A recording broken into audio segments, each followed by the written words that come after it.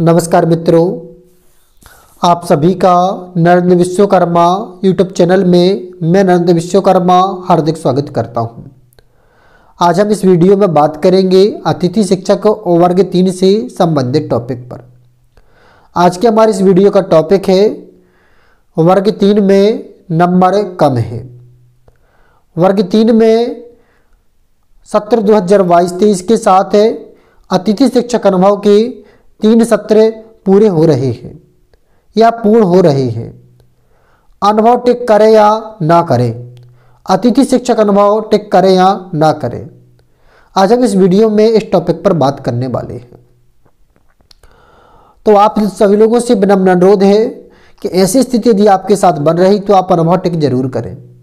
क्योंकि आप कितने अधिक अंक नहीं है कि आपका नॉन गेस्ट में सिलेक्शन हो जाए।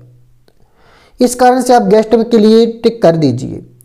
यदि किसी कारणवश से आपका इस सत्र में नाम नहीं आ पा रहा है, मान लीजिए कि आपके जो अंक कम है तो गेस्ट में सत्र में आपका नाम नहीं आया फ़र्स्ट काउंसलिंग में तो पुनः सेकंड काउंसलिंग हुई सेकंड काउंसलिंग में उस स्थिति में आपके नाम आने के चांस बढ़ जाएँगे।